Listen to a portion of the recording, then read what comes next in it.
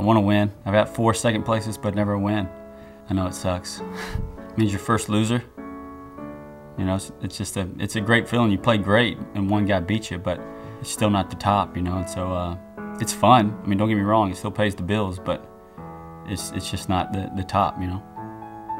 You know, I don't know what it's gonna feel like. You know, it's gonna feel great, but at the same time, it's not gonna change my life. It's not gonna make my life any better.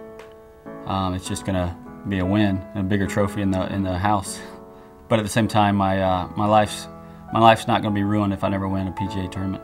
You know, it's just it's it's just something I do, and I want to win, but I'm not gonna go pout in the corner if I never win. I don't let it bother me. You know, my dinner's still gonna taste good when I get done with my round. You know,